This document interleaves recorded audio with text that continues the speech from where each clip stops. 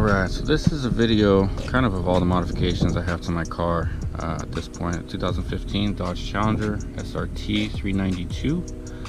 Um, sorry for the wind ahead of time. It is a windy day today. And uh, today's the only day I've been able to make time to do this. So it is what it is.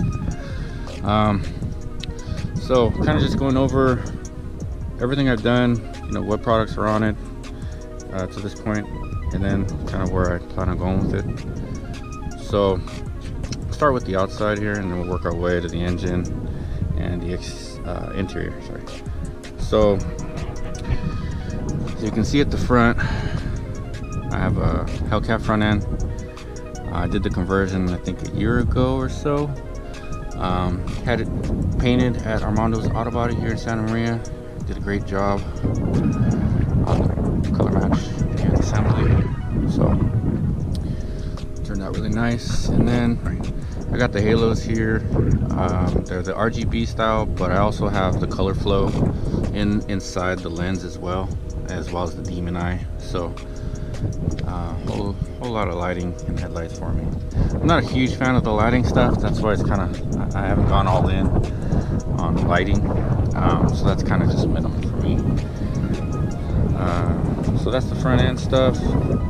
I have the whole top of the car wrapped in satin black. I believe it's Avery. Okay. And then that whole car is actually ceramic coated um, by my uh, detailing product sponsor, Aero. Things.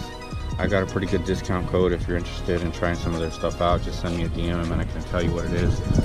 But the car is uh, paint paint corrected with their products as well as ceramic coated with their product. I got 20 by 10 up front, 20 by 11 in the back, and these are variant uh, alloy wheels. Um, I got a good discount for them as well. Uh, put, I'll try to put that in the description. I think it's like 20 or 25%. They got a whole line of uh, single piece, uh, two piece, and three piece wheels. So be sure to check out their styles. They got a whole lot of stuff. Um, and then I went ahead and color matched the uh, red Brembos, made those green with uh, G2, uh, the G2 paint kit. Uh, advice on that, don't use the brush. Pay a little bit more and get their sprayer. I did the sprayer on these and they turned out really clean. I tried the brush at first just to see what it looked like and it was, didn't go well. So just uh, my tip on that. All the side markers, I had those blacked out, Lux Auto Concepts um, the tail light tail lights in the middle as well.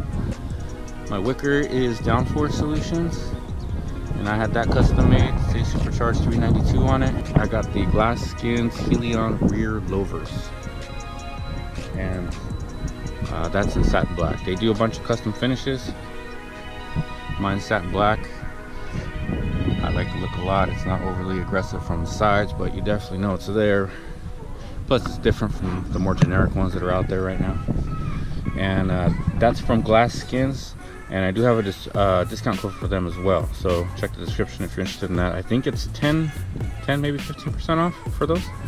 Um, and that's basically just 3M taped all the way around so you're not actually drilling nothing into your car um, in case you're worried about that. Uh, the ground kit is all KNG Wrapz. You can find them as well on Instagram. Um, I used to have what did I have before? Oh, I don't remember the name. I had another ground kit before and I changed it because it wasn't as aggressive anymore to me as I'd like. Uh, you know, I try to mix up looks and stuff and I added the, the green edging all along the bottoms. Kind of just help it pop out a little bit more. It's got really nice, really nice edging. The material is like a, wind is like an aluminum. So really solid. Um, installing it not so fun. Uh, and then the rods carbon fiber. And I think that's it for the outside. Under the hood. Under the hood is the Whipple uh, supercharger right? Kind of tells you right there. But um, I've since added I got the car with the supercharger. Um, I it came with the Whipple and it came with the Hellcat short block. The story on that basically um, the old 392 block took a shit um, in tuning and uh, the old owner had to basically pay for a new block so they went with the Hellcat short block and everything else is 392 I think I'm pushing like maybe 10 pounds right now. Um, so uh, I did have problems with uh, the balancer breaking loose a while back down there so I did upgrade that to an ATI 6% overdrive so before the car was doing 600 600 horsepower to the wheels on a dyno so I'm kind of working through that right now, trying to figure out who I should start tuning with, uh, dyno tuning with. So uh, that's coming later, later. So on top of that, um, you know, this is a carb legal kit. So I got the carb legal sticker, Whipple intake, um, JLT coolant cover, 3G Customz back there. I do have a hood prop and trunk prop as well for 3G Customz. I don't have those with me. Um, the uh, crankcase breather, custom strut bar says bad 392 on it which is what my license plate say as well that's kind of why I, um, I went with that on the strut bars because I was able to get the bad 392 for the uh, license plates so um, and then just you know random decals so the trunk is pretty simple. I just got a um, you know the tank and then the two compressors. Uh, another decal made by AA Designs there. Sorry about the wind. Uh, my aero detailing products bags. Got the green one there and uh, gray one there. Uh, and then they got a, like I said they got a whole bunch of stuff. Make sure you check them out that's my license plate for the front I just took it off that's on a um, quick release Sto N Sho so I'm just keeping that there until we're done so moving on interior part of the car I just got, you know, some simple carbon fiber stuff. I was trying to cover up most of the silver. Um, roll down the window here. Trying to keep some of the wind out of here. So, the car, I did recently have um, this interior, sorry, this interior uh, paneling done. Shut up. So I had all this done in carbon fiber with sublime edging. And this was done by Creative Customs and then there's my controller for my, my bags. Right, so that turned out really nice. Um, I had them do this stuff in Sublime carbon fiber, which I'm still up in the air about. I might change that to just normal carbon fiber. It's kind of different to my eyes. So I had them do it here as well, here, and then the shifters are just Sublime. I chose to go this route because I like my heated steering wheel, so I didn't want to sacrifice that for a custom carbon fiber one. So that's why I have it like that. Um, and then I have this being ordered right now with the SRT to kind of match the rest of the look. Over here, I have the uh, Cipher. They're five point harnesses, but I took the, the lap one or this middle one out. I'm just using the four. So I just got those and then um, I got the Cipher harness bar right now as well attached down here for the lap belt right so um, and then the rear part of the car I normally do have my back seat and all the paneling in here I just have it out for right now because uh, the car came with red seat belts and I'm trading somebody for black ones. I do like my seats. I didn't want to get rid of them for racing seats but you know what? I might be getting rid of them for racing seats. So that that that's probably coming soon actually.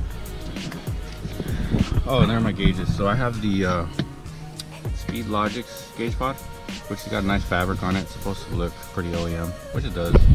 Um, and then for the air fuel as well as the boost. So um, that's kind of the summary of the car. Actually I, there might be some little stuff I'm forgetting but that's, that's overall what I have going on. So there's still more stuff to come on the car. I do plan on doing quite a bit more to the car. And with everything I've already done to the car, to be honest, I've been debating if I should post about it because people, you know, ask me questions about it. And I do a lot of the stuff myself. Like I did the K&G ground kit. I did the uh, crankshaft uh, balancer. I pinned the crank because it was, oh, that was another thing. The, the crank wasn't pinned before. So I was actually probably losing out on some boost when they did that dyno with the previous owner. So um, I did that myself as well. I removed these panelings, and had them shipped off for the work to be done. You know, I did the install the gauges. Um, I did the downforce solutions on the trunk lid. So I've done quite a bit of the stuff myself just because I have, you know, trust issues with some shops. Uh, they've kind of burned me and I don't know. I, I like to kind of do it all myself if I can. So let me know if you would be interested in seeing stuff like that and I can make videos on stuff like that because, you know, no big deal to record it. I do some of it on Instagram, so if you check out my IG, you might see some of it there. But anyway, that's pretty much it for the car. I do plan on doing the wide body. Probably not the OEM wide body. I'm thinking of going different because the OEM one's kind of everywhere now. Um, and then Variant's going to be doing me a solid on some some wide ass three piece wheels. So more stuff coming and then I can always do a video on the cutting process on this if anybody cares. So that's about it. Let me know.